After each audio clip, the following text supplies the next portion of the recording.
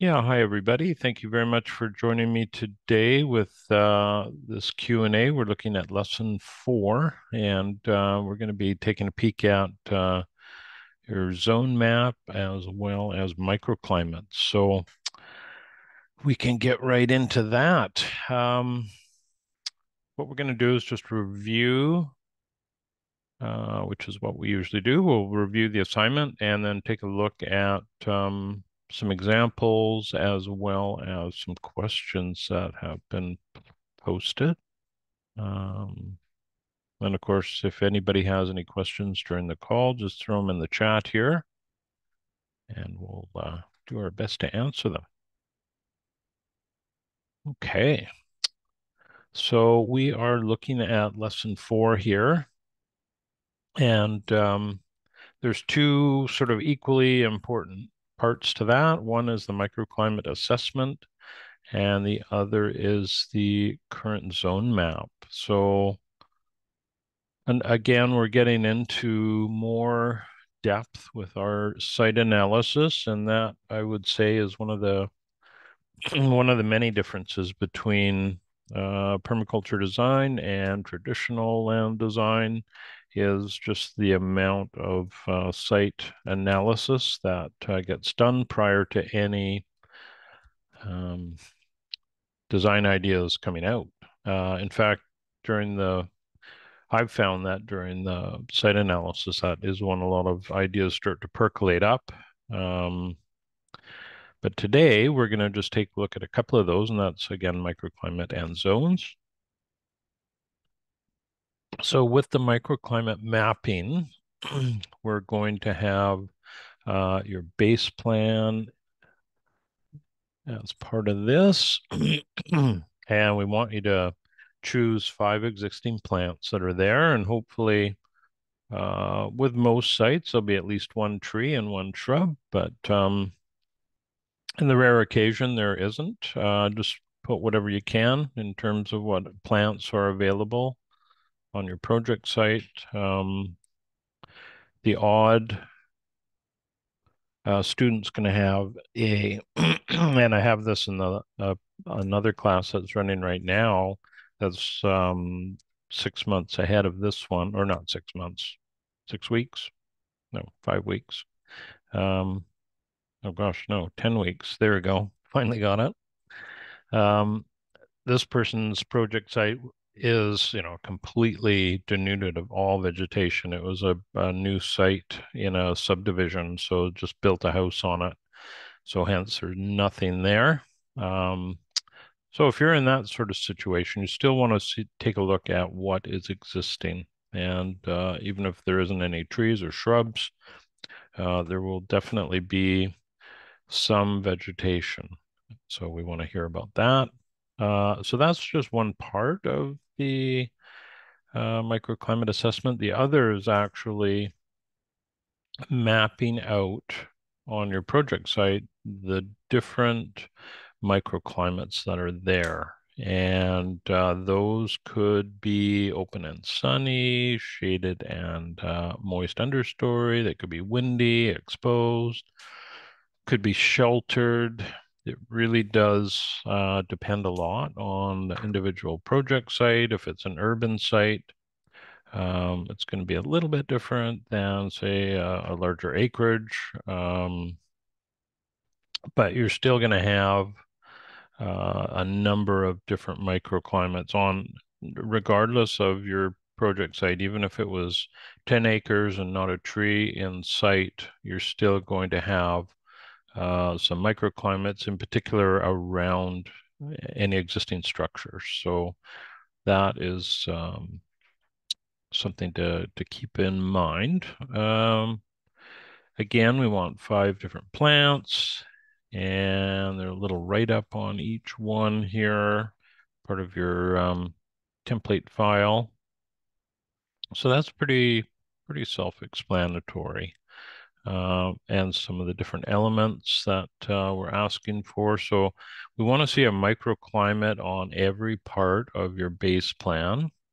So it should have something uh, with a, narrative, a narrative, little bit of an explanation. Um, easiest way to do the mapping is to have a legend or a key. And you want to also uh, indicate those five plants and some sort of microclimate plant identification chart filled out and attributes chart as well, as long as as well as the SWOT analysis. So that covers off the microclimates. Uh, let's take a look at an example here. So these got a few examples from previous students. And this is a, a small urban, uh, actually it's a duplex here, so it's even smaller than it appears. Uh, hence half of this project site being um, sort of, uh, well, I won't say grayed out, but no color added. So this student here, uh, these were all of the microclimates that they assigned to them. So as you can see in an urban area, there, you know, there are potentially quite a few uh, microclimates, and that could be shade from fencing or from a building. Um, there's often narrow shaded spaces, um, particularly on the side of a house, depending on the, the size of the project site. Uh, and then there's normally an open hot area. So there's a number that have been identified here, and this student identified seven plants, even though you only have to do uh, five. And then the plant identification went over a couple of pages here. And this is really interesting, and this sort of plays into the big picture as well, because if you do have, um, uh, particularly when you get a call for uh, some design work and you're going into uh, a project, it's you know you don't you don't often get asked to do design work on a project that's uh, looking good and in perfect condition, there's something not quite right. And that's, you know, why your clients or potential clients want you to fix. Uh, and just noting what plants are existing can often point you in an interesting direction. Um, especially if the site has been disturbed recently and just observing what um, what is coming behind them right? So it could uh, point to, you know, compaction. Uh, it could point to many things. So the soil conditions, the uh, the amount of water in the area, a lot of these things. I know we were recently at a project uh, site that we're we're starting on, um, and there's a, a, huge amount of disturbance that was done and which is a bit disturbing. no pun intended. But um, uh, these folks had cleared off part of a wetland and um, in hopes to to change it and uh, to make it drier. And in fact, they did the opposite because they've removed all the vegetation. But just walking around uh, on the site and there was literally carpets of uh, red alder coming up, and uh, that that says a lot. It just tells you, you know, even under all of this uh, incredible disturbance, the trees, those particular pioneer trees, want to come back and um, address the the nature of the area, which is a lot of water. So again, it's very interesting to uh, to really dial into what's already existing. It can really help. Uh, here's the microclimate attributes. So this is pretty, you know, pretty um, uh, deep what the, we're asking for here. And it's a good exercise to go through. It really does help um, really help everyone try and dial into what these individual microclimates have in terms of their attributes. And then that makes it a, a lot easier when we get to the design uh, end of things, you know, what is appropriate in these different places. And then we have a SWOT analysis. So that is um, one example. Uh, this is a larger property. Can't remember. Well, it's a little 15,000 square feet. Yeah. So it's a little over a quarter acre. Um, here are five different plants, but this is one thing to keep in mind. If there are a lot of Douglas fir, we just need to identify one in this exercise. We don't have to identify all of them, okay? Uh, and the same with bracken. um, if you have bracken, and uh, that's interesting where I live, we did uh, quite a bit of renovation work. We've been here 27 years and we've had multiple concepts on our landscape. It's it's uh, one of the horrors of uh, uh, designing your own space is it's continually changing. So we're in our sixth rendition, and um, uh, we did a lot of disturbance uh, with the machine in here, and um, we are seeing an incredible amount of bracken in certain spots. So it's very interesting to see that popping up. And that's a really interesting uh, pioneer plant. So just a little side note on that. Um, again, the plant ID associated with those microclimates and attributes for each one.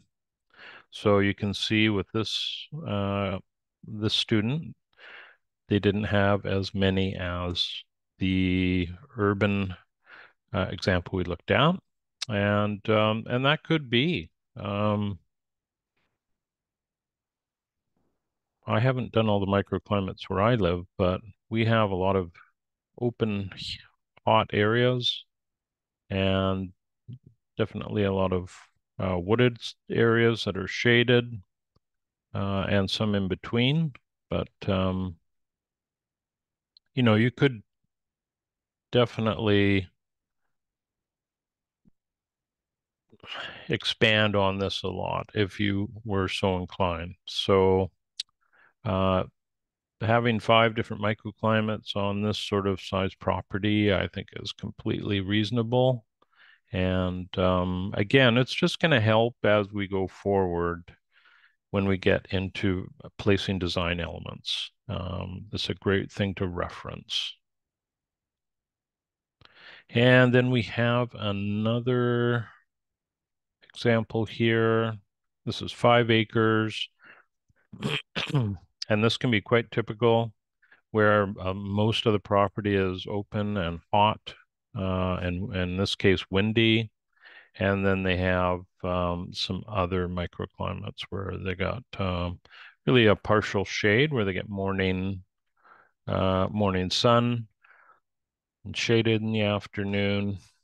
Um, cooler uh, morning sun and then cool, moist, full shade. And then, and there are different types of shade, that's for sure. We have, uh, you can have very dry shade, um, which I'm sure uh, Philippe knows all about up in Kamloops. I'm sure there's a lot of dry shade up there.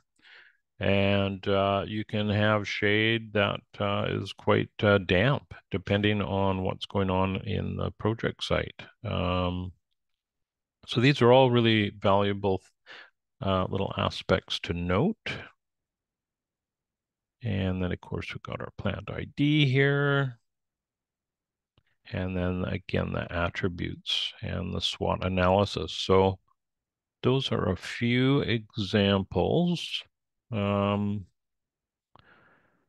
and so that's the first part of the microclimate assessment. And that's worth 10 points. And Again, I would recommend uh, everybody just take a look at the rubric as they're putting together their assignment, uh, just to make sure you're covering off all of the items that are asked for. And uh, this is, of course, what I use to grade. So um, just take that uh, into consideration, which makes it super easy for me. Um, and as well, hopefully for, for yourself, knowing what to include. So with the zone mapping, now that's a little bit different, and we are looking at current zones. So in a project site, if this is your project site, um, could be fairly easy to figure that out. If it's somebody, if it's a, a client's project site, that might take a little bit more effort uh, with some interviewing with them. But it is a really good, um, it's important uh, to note how the site's being utilized. So often in an urban area, um, we're looking at trying to better utilize some of the property. And I would say it's that could be the case with acreage, but often with acreage, uh, you get so spread out and um, you know that's just the reality. A larger space is harder to manage, so you really want to try and pull all of those daily important tasks uh, closer into the um, closer to your habitat, right? So I have one project uh, that we were involved with, and the clients had an existing chicken coop, and that was great. They had chickens, they looked pretty happy. Um, they're on three acres, and for whatever reason, their chicken coop was at the far end of the property. So that's just not a, an ideal if you're designing to have some uh, particularly chickens that you have to visit.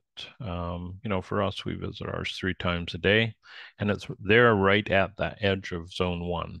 Uh, they're between zone one and two where we are. In fact, I can just turn and look out and and see them out there, um, which isn't a bad thing where I live because we have quite a bit of predator pressure. So the zones are really a critical part, and I'd say there it's you know one of the best things that permaculture uh, can bring into um, you know our design sense is just utilizing zones and just especially when you get onto larger properties it just makes so much sense to have those things that you use most often uh, closer to your house. It's it's kind of like a clothesline. It wouldn't make much sense to have your clothesline 300 feet from your prop or from your house. Um, and a lot of that um, can be said for your vegetable gardens, um, you know, that sort of thing. So we have where I live, we have a kind of our kitchen garden right outside of the kitchen on the south side of our house, kind of idyllic that way. Um, and that's for um, sort of everyday salads and stuff. And, and some heat lovers go in there. And then when we get further away from the house, we get into more of our cropping beds, like with our potatoes and kohlrabi and other uh, veggies that don't need uh, sort of daily cordling. Um, and unfortunately, you know, I look at some sites where they people have a, a, huge vegetable garden all in one area, and I'd love that. Ours is spread out a little bit just due to the nature of our property. Uh, ours is fairly well. We got a, a little bit of slope, and it's flat um, near the top of it, so that's where we're trying to condense a lot of our growing, where it's easier and flatter. But um, uh, let's see here. So hence, yes, the zones being a very important um, approach to the design. How you're how you're traveling through the site and um, appropriately selecting elements that are going to fall into that. Now, what you'll probably find is when we get to the end of the course, and your project site has been fully designed, that those that zone map might change a little bit.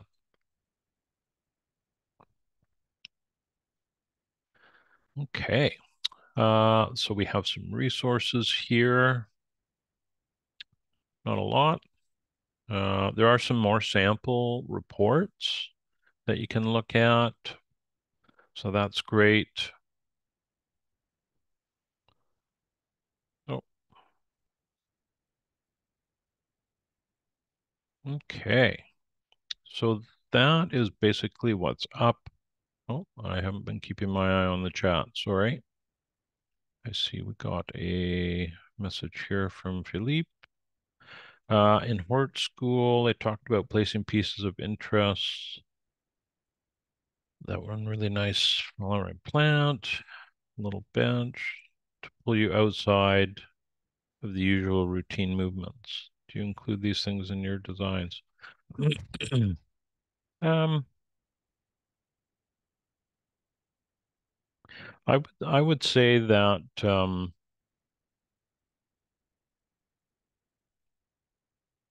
when we're looking at um, things conceptually, we definitely approach them. Oops. Um, it's a good question. Just trying to figure out how to. I know where you're going with this, and um, I really think it's site specific. So we we have, and when I say that, it's more.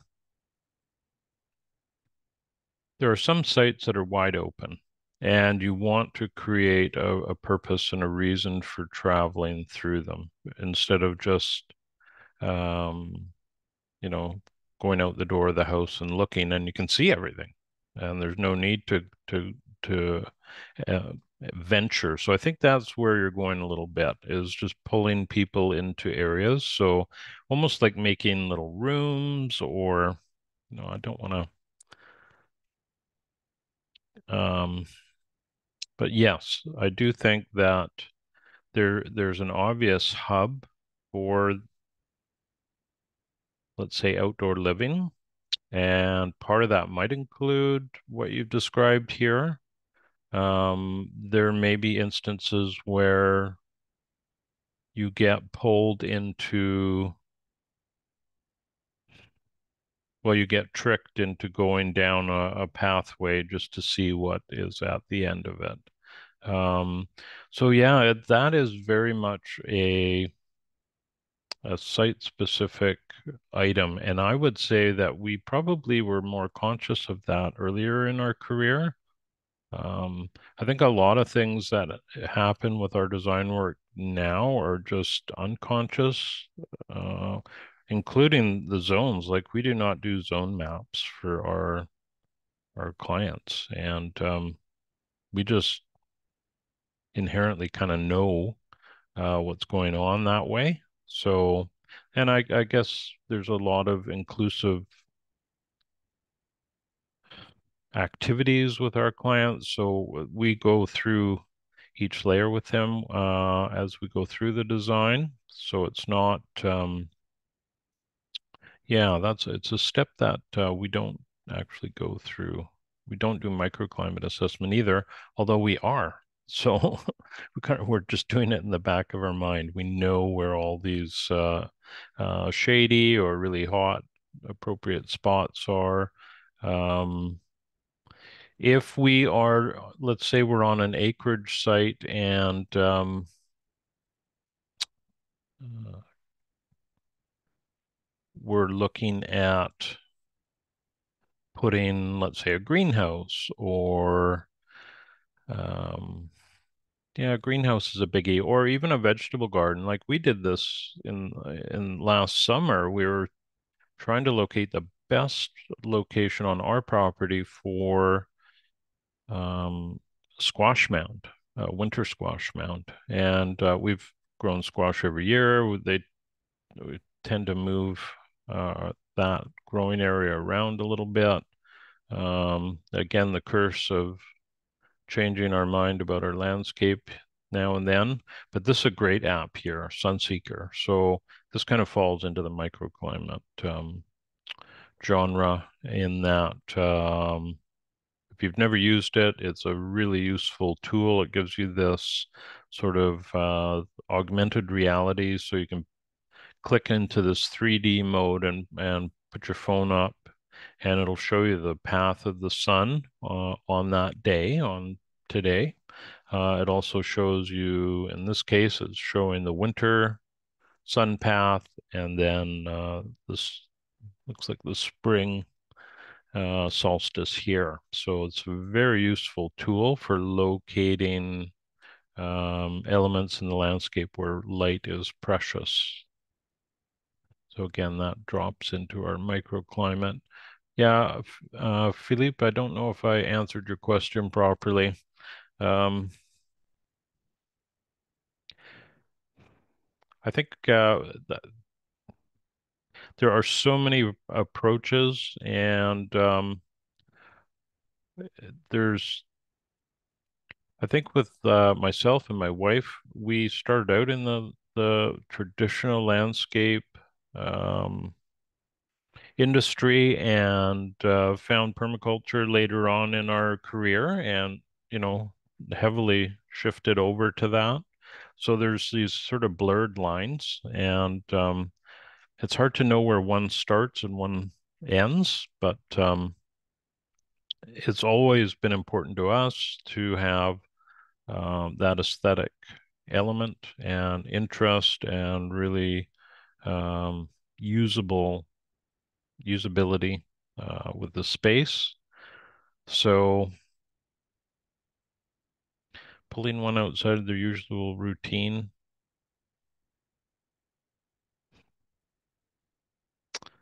Yeah,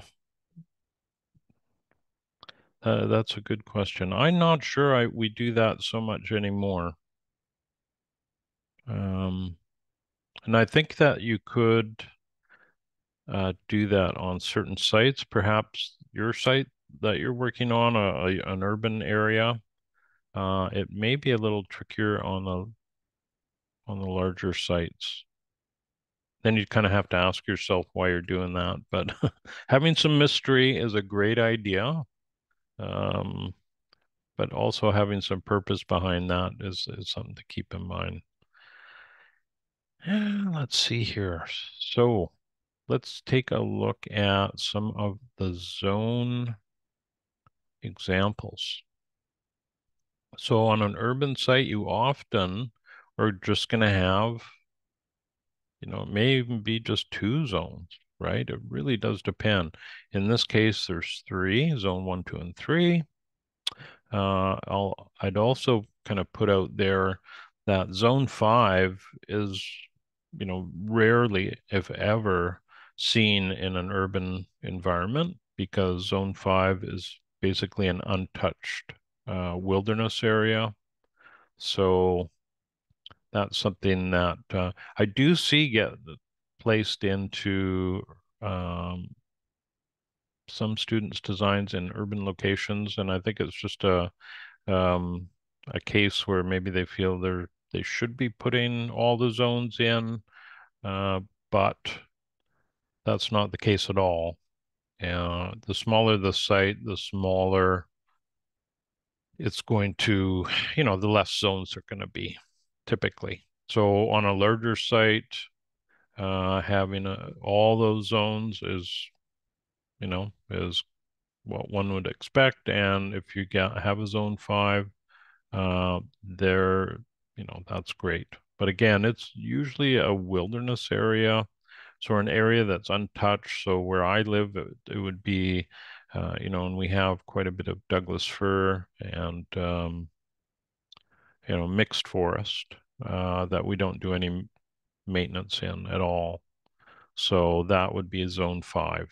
And again, it's it's these larger sites where you're going to see that. And this is another good example. This uh, this is a five acre site and there's no zone five. And why is that? Well, this is one of those instances where they had uh, pretty much a cleared site. So five acres that was uh, just basically pasture.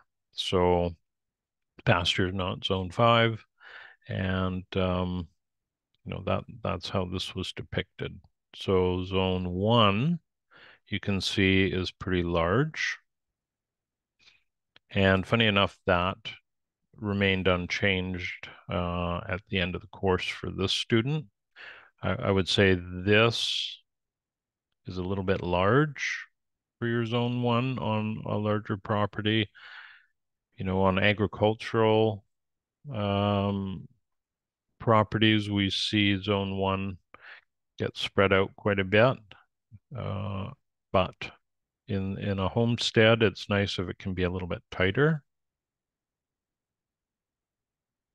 I think those are all the examples. Anybody have any questions about um, their expectations on their zone or microclimate? Okay, so there was a uh, Philippe uh, sent a good question um, earlier in the week, and I thought it'd be a great opportunity to answer during the class here or during the Q and A. Sorry. Um, so there's three. I added one. Okay. Uh, the first one is just about small scale grain production, which is a really good idea. And I did find a bit of info on that. Um, so this person wants to get as many calories as possible off the property. Grains and nuts. So long term hazelnuts. Yeah, that's a great idea. And grains are quick, and they are. Yeah, and there was, I'm not sure you recall or have seen, but this is a bit of a a trend in uh, Vancouver in uh, for boulevards. Um, not extensively, but there were certainly some people that were getting rid of their lawn and and turning them into uh, micro um, grain production. So I looked up some info, and I'm just trying to recall the quantities. I think they were saying there was about I think it was 30 square feet. I'll take a look. I think it was you get six cups of flour from 30 square feet.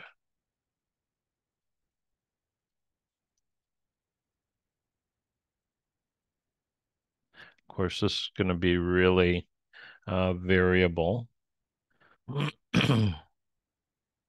yeah, so we've done a little bit of this um, just out of by accident with our chickens. So there's been areas where we move our chickens around and um, we've had grain follow them. Um, 25 pounds off 450 square feet. Wow, that's quite substantial. That was, they did well. Yeah, that's very nice. Gosh, I'd say that would be hmm, that would be certainly uh, an enviable harvest. Um, I think it's worth trying for sure. Um, and not that hard to do. And certainly where you are in Kamloops, it should be pretty easy just timing it with the weather, right? Getting an early start with that. So yeah, that's that's a great idea. I think you mentioned potatoes here. Yeah, potatoes are a great idea. Maybe corn might be as well, but again, a little different. Um, I think grains would be easier. So hopefully that uh, helps you out with that. Um, is rainwater off an asphalt shingle roof a health risk? Well, it can be for sure. What um, traditionally what we do when we are dealing with urban landscapes is most of the roof uh, roofing materials are asphalt shingle or some variant of that. And um, they have a lot of hydrocarbons uh, as you can imagine, uh, as well as fire retardants. And it's it's actually in the first five years of the roof's existence, a new roof up to five years. They're really um, there's a lot of of runoff from the that. Now, I, not runoff. It's just a lot of compounds coming out of the the shingle during the first five years. So from that point on, there's less, but it's still going to be an issue for uh, food crops, annual vegetables. So I wouldn't be collecting off of asphalt shingle for annual vegetable use. You could send that into ornamental. You could send that into a woody, um, like uh, any woody, an orchard, raspberries, blueberries. Uh, technically, that those compounds are going to get locked up in the wood, not the fruit. So, but generally speaking, I think the best use of uh, asphalt shingle uh, rainwater is into a rain garden. So then it can actually remediate those compounds uh, versus just sending it into storm, the storm sewer. And let's see, it's below the ground. Right. So already where you are, uh, the water's just hitting the ground. It's getting remediated or running off onto somebody else's property. But a rain garden is a fabulous um, approach. And if you're looking for this an, an incredible publication here, uh, the address is up top here. Uh, this is, or you can just search Google uh, Rain, Rain Garden Handbook for Western Washington. This is a fabulous book. The first one I ever installed, I definitely leaned heavily on this for info. And um, it's just telling you the, some of the basic principles. Uh, when you're setting this up, you want to have, uh, you know, you have to plan it all out. You have to do basically, don't have to, but often some excavation and then backfill, and then you're going to plan the ponding height uh, and with that, your overflow. And uh, that's a really important part is having uh, somewhere for that water to go. Uh, we installed quite a large uh, rain garden. I don't know if I, I'll, I'll, try and bring it up a little bit later if we got time. Um, I'll certainly uh, show it to you all in the next Q&A when we're looking at water.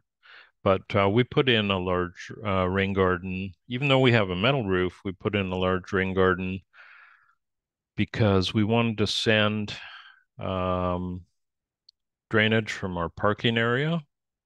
Uh, we have a ditch that runs along our uh, the top of our property, uh, as well as one section of our roofing that we we can elect to put it into the rain garden, and it'll hold about 3,000 gallons when it's at this stage when it's full.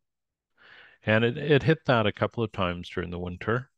Um, and then boom, it goes into an overflow. But all of that water that gets infiltrated, it's just such a benefit for everything downstream. So for us, we're infiltrating it high in our landscape and all we have an orchard below it, you know, a small orchard. Uh, and you can already see the benefit to that. And it's just recently been put in. But this is a great um, publication. And one thing that's really good about it is at the end here, uh, and I won't get into a rain garden construction right now, but there's three zones. There's the bottom, which is zone one, and the edge is zone two, and the top is zone three. And here we got a, a, great plant list and what they are appropriate for, right? So really valuable um, chart here showing you where you can, what what'll do well and where it can go. So check that out. Get back to our questions here.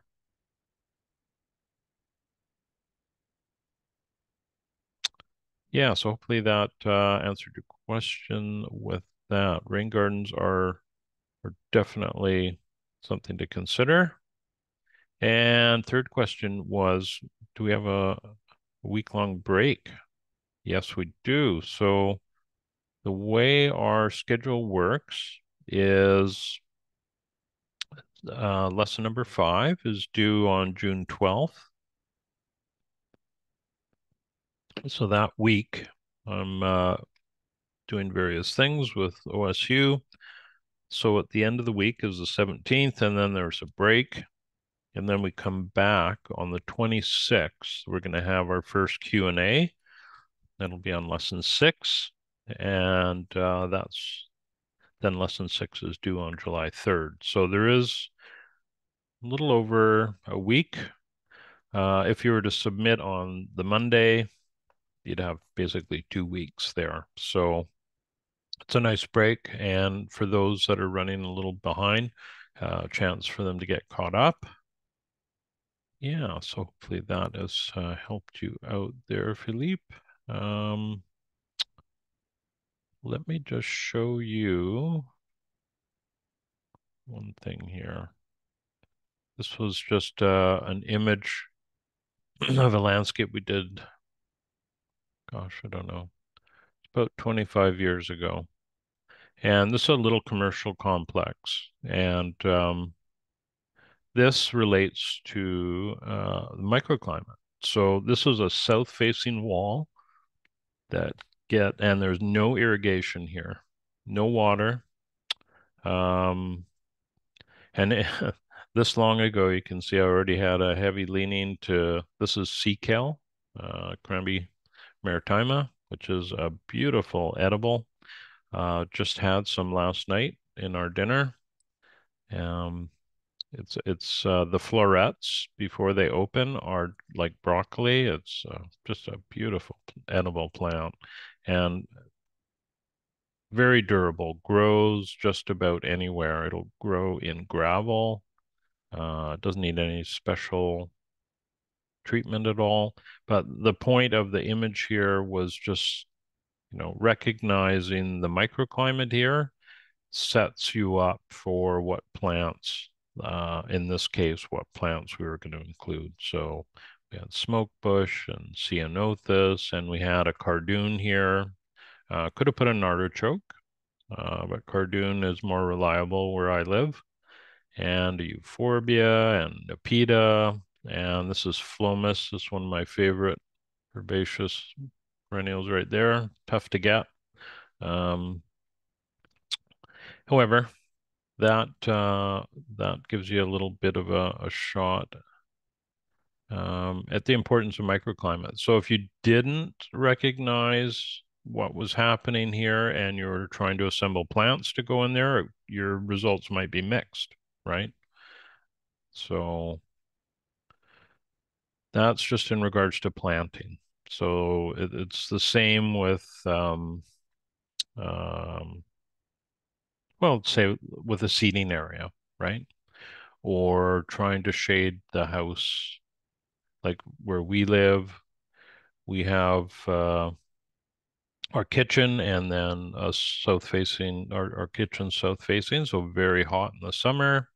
And we want all that winter uh, light, but we want it shaded during the summer months. So we have, uh, we've got a little bit of both. We have plants that provide shading during the winter, or sorry, during the summer. Um, and and they're deciduous, so we get full full on sun during all the winter months, which is wonderful. And uh, yeah. So anybody have any other questions or anything they want to explore today? We got another 10 minutes that we can can certainly dive into anything uh, related to this lesson or beyond. I will say that lesson five, so our next Q&A, um, that's traditionally the hardest week or the hardest uh, hardest assignment. So that's when um, that if you can't make the meeting for that, you definitely want to check out because we're looking at micro watersheds and that can be a little bit tricky. It can be tricky even on a small site. So it, it's certainly something that, um, uh, and actually since got you here, I'll just show you an example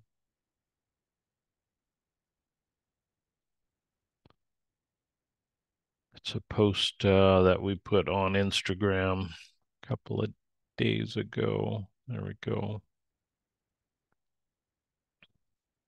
I'll just share that.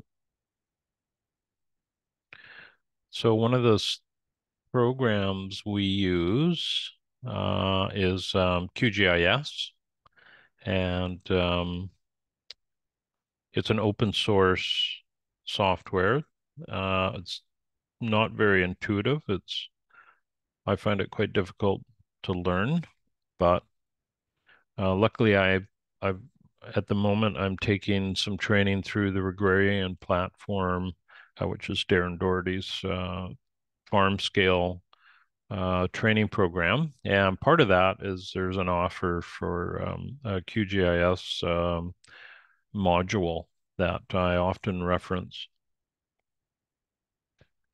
So we use that, and um, this is an example of one of, of some of the data that it's uh, produced for us. And here's our project site boundary in red. And this is a site I was talking about earlier that was disturbed. And right along here, where my cursor is, here, I'll get my Uh, right along here is a rail line, and this property slopes in this direction. So there is uh, quite, there's nowhere for the water to go. That's obvious, even though you can see the water does keep flowing. Um, but this map uh, these colors represent different parts of water flow. So the purple is sort of the first stage, and then it goes to blue, and then a turquoise, and then green. So as these all come together and get more um, more substantial, they the colors change on these. And on and this particular map is showing us where um, basically our micro watershed. So what when we get water that drops right here on a neighboring site, it potentially can end up on the project site. And this is this is a, a really uh, interesting project that way that we we really need to know uh, how much, approximately how much water that this site gets inundated with every year in order to design it correctly. So we're with this project, we're doing what's called a feasibility report, where we're looking at whether we can actually design something to match up with our clients' needs. We're not sure. Um, we've come up with a concept that I think will work, but it may not be something that they desire. They want this to be, you know, a, a usable dry area, and it's just not um, fully going to happen. You know, there's going to be a wetland component there, and it, and this map tells you why, right? So we I think we ran some uh, we ran the numbers on that. Um, and I'm trying to remember.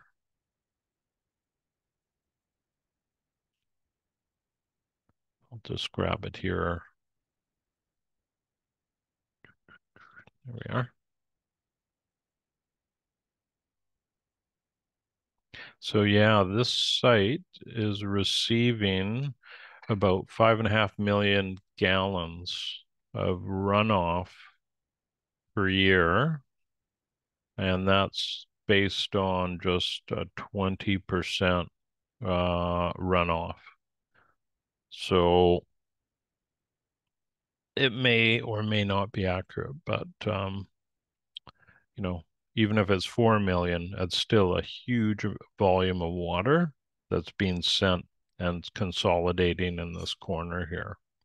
So again, this is all about uh, micro watersheds, and uh, we won't be looking at this kind of map in lesson number five. This is, you know, not something we're going to do, but what we are going to do is take um, contours information from your project site and uh, from areas around it. And we're going to use that to calculate where the micro watershed is. And uh, we actually did that on this site before this map got generated, and it was pretty much identical. So, all right. So that is that. Um, don't think I have anything else to share with you today. If there's uh, any questions, please feel free to shoot them out. And if not, we'll, um, we'll wrap up our meeting here. So uh, thank you very much, everybody, for attending today and best of luck with your assignments. Um, look forward to seeing them next week. And then, um, then the following week, we'll get into that uh, lesson number five, the water micro watershed. So yeah, everybody have a great, uh, great rest of your week. And um, thank you again.